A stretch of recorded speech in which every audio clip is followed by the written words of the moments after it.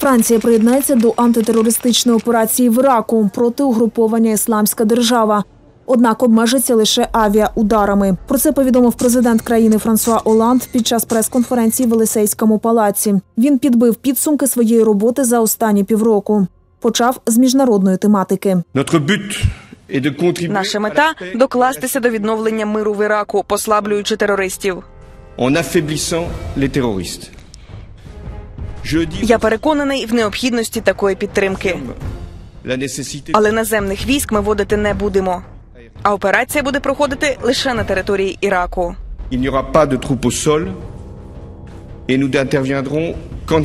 Французи не задоволені своїм президентом. Рейтинг підтримки Оланда впав до рекордних 13%. Однак сам він не вважає це приводом іти у відставку.